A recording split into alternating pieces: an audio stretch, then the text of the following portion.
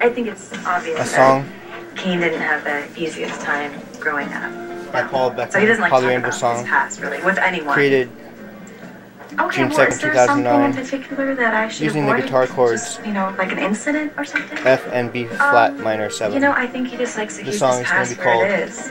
You know, so I would just Some people like to pass dead. Questions. I mean, he'll, he'll want to help because he loves Catherine, but, you know, it's just hard for him. Okay, sure, I understand. Good night. Happy birthday. Thanks. Some people like to pass dead in their life. They don't like to talk about it. You a problem. Some people do better with their past dead.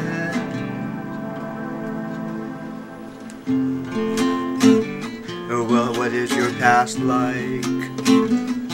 Has Okay, it been upsetting for you? Would you it. rather see your past dead too? Never talk about it. Some people don't have a very good past. Their childhood was marred by something they don't like to generally talk And if I about can their be this guy that you think I could be.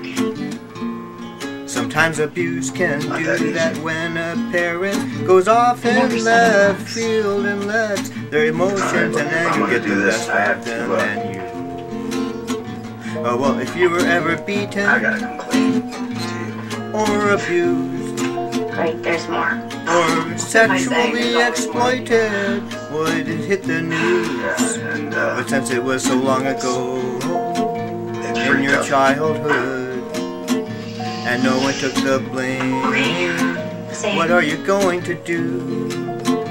You'd rather not talk about it.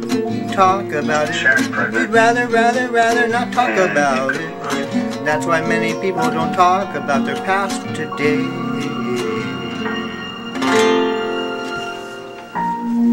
Next on The Young and the Restless. Now I'm crazy because I had a dream that maybe gave me a different perspective on things. Maybe I should be committed. I couldn't stand the